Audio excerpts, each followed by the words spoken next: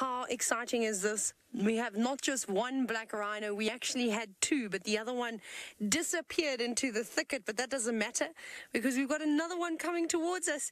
Oh, I'm so excited. I haven't been able to talk or actually show you rhinos since today. So, this is the black rhino, Diceros bicornis. It's the same species that we get in South Africa. There's the second one. That looks like a female on the left. And I reckon the one that we saw on the right was, well, it could have been it actually looks like an older one because I don't know if you noticed, I did see a tatty ear.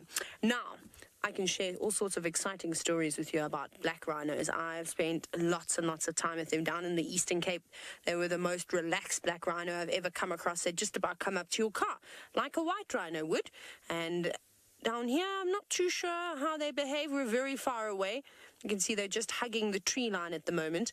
Um, so typically, black rhinos are territorial, male and female. They both mark and defend territories. And I thought this rang true right until about two and a half, three years ago, when I saw seven black rhino together. How incredible is that? Two adult females, a male, fully grown male, no, it was must have been more. Three fem was it three females, two big males, and then there was two calves or something ridiculous. I forget the combination of it. There were adults of males and females, and they were in a lion sighting. It was really cool, quite close onto the airstrip. Now it wasn't a particularly long sighting. They've just dipped down. We'll see. Maybe we can go around and get another view. Very, very, very cool though. That's amazing. let's go. Actually, let's see. Um, just I don't know if there's a road that goes down that way. Whoop a little bit bumpy. Now, Jacqueline, you say yay! I presume you exclaimed yay like that. This is the first time you've seen a rhino. Well, it's the first time in almost a year that I've been able to show you a rhino, so I'm I'm ecstatic. I think that's the only way to describe what I'm feeling at the moment. I really want to try and get another view for you because they're such beautiful creatures. And I want to just see what the what the, the dynamics here. If it is a male and a female, which would be very common, or if it's maybe two females moving around together. Uh, that's what I love so much about nature is that the more you spend time with these animals, the more you learn that often what people have written about them 15 years ago um, it's, it's, you know, the more time you spend with them, you start to see things and you go, oh, actually, I don't agree with that anymore. I've seen them doing the complete opposite. Now, Bree Bree, you're wondering if they're sociable. Uh, white rhinos are very much sociable. You can see them in quite large groups. And like I said to you, I thought male and female mark and defend territory the only time they come together for mating. And then I had the sighting where I had adult males and females and youngsters and, and sort of all interacting with one another. So I think that they're a lot more social than we actually know. And hopefully, when we start to spot them, um, and we'll try and come around these areas. I said to David this morning uh, when we were driving, I was like, this is a really good area for black rhino. Um, hopefully, we'll be able to spend more time with them and we'll see more and more interactions. They're incredible, the black rhinos. It's the only animal I've ever been, well, rhino species I've been charged by. I was charged by a black rhino quite badly once.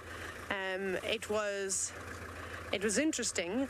Um, he was very grumpy. I'm going to go around this car. Let's try and get them again. See, I'm not sure if, they, if they've just ducked into the thicket, if they're going to come towards us. They might even just step out and we're going to miss them. But we'll try our best and have a look here. Might have to use the good old binoculars, have a little scan around. CNAC, you're wondering if I know how many rhinos are in this park? I think even if I did know the numbers of the rhinos, I probably wouldn't disclose that too much, but I don't know how many rhinos are around here. Um, I think we're very privileged that we're going to show them, but let's not brag about how many are around here. Fortunately, there's some nasty people out here that want to do horrific things uh, to the rhinos. We'll just leave it at that. That's just my opinion, but I also don't know the number. Whee, that was a big bump. Sorry, David, you almost lost you too out the car to get you a safety belt. Where's that tape? We'll Just strap you down. Let's see. I think they're coming this way.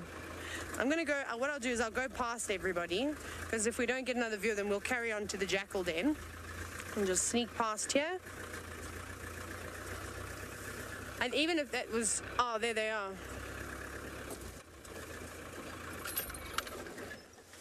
There we go. A very interesting question with you. This will spark an interesting conversation. Wondering how common is it for leopard, lion, or cheetah uh, to attack a rhino? Not particularly common. I remember there was a sighting in the Kruger National Park, though, where the lions were trying to take on. I think they ended up killing this rhino uh, young rhino, but it sounded like it was injured. It, something was wrong with its leg, if I'm not mistaken. Um, I think it's particularly tough. So a sighting that I've actually had before, which was, uh, oh sorry, there's a car that's just going to go past us. Oh, are they going to go past it? No, they're going to stop. That's fine. Okay. we just thought they were going to go past us, so we're just repositioning, but there we go. We've still got a view. Um, so I had the sighting once, Kathy. It was incredible. It was in the Eastern Cape where uh, lions jumped upon a white rhino's back, and this white rhino was not having any of it. And it was, I think it was lions were introduced into the area that had maybe never seen rhinos before and thought, oh, hey, this could make a great meal. And they jumped on its back, and all the rhino did was run through an acacia thicket, the acacia karroos. Out came the rhino, no lions. lions do not have tough skin like rhinos do, especially on their sides, on their back, on their rump. It's quite thin and sensitive around the ears and also around the tail. But um, and even lion's claws wouldn't do too much damage uh, by gripping onto the back of a rhino. So it's not a favorite food of the lions, and I think that they'll leave them around, especially something like a black rhino that's known to have a short fuse. Uh, I wouldn't want to get on the other end of that sharp horn. I don't think they would stand for any nonsense at all. Isn't this great? Now, Jones, you know, we, we were talking about rain and animals being water dependent and, you know, hippos and things like that and them dehydrating. Your question's well similar. How water dependent are black rhino? Well, a lot of the vegetation that they're feeding on, remember, they're browsers, so they don't graze. Um, they will get a lot of their moisture from from plants, but they, they will drink. Um, I pretty much, when I was guiding down in the Eastern Cape, there was one really old black rhino male, and he used to go down and have a drink every afternoon at the same dam. It was just his favorite spot, and he would wallow in it too. Um, so I suppose, I think it depends on a lot of different things um, how, how, how lush the vegetation is in the area. Um, if there's water available, of course, they, they will drink it. They, like the white runners, they love to have a little bit of wallow. So I think it just depends. And there's plenty of little pools of water for them to, to have a sip on. But it's not, it's not particularly hot here. So I, well, I don't think so. Obviously, the animals climatized to uh, their environment. I mean, the, the rhinos down in South Africa will be slightly different to the black rhinos up here because, well, the habitat's different, the temperature's different. You know, there's lots of different things. All that movement you can hear behind me, there are lots and lots of vehicles about here. They are so excited to see the black rhino. I don't know how common of a sight it is to see. I think that we're very, very privileged. Now, I can't tell you if it's a male or female from, from here. I think that's the female though, because like I said to you, the second one had a very, very tatty, uh, tatty, tattered left ear, and I wonder if that's maybe not a bull from fighting. Uh, often, often, sort of uh, get raggy ears. Uh, we, I mean, we see that with lions as well and leopards too.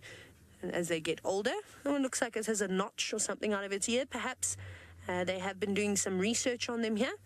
Uh, not necessarily tagging them with a tracking device, but possibly taking blood samples uh, and then notching, being able to identify them. Or it could just be natural too. It's so far away. I'm actually, while you're looking, I want to have a quick look with my binoculars. I just want to be able to, there's a bit of a glare on the screen. Maybe I'll be able to give you some more insight. See if I can see the other one. I haven't seen it pop out yet.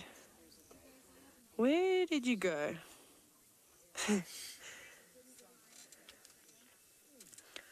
No, no one likes me. I don't like your Twitter handle. You make me sad when you say that.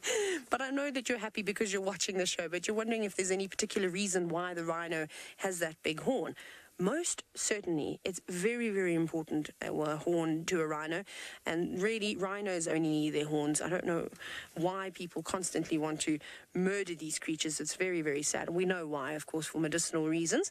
However, for a rhino, uh, for protection is the main reason, and also for greeting.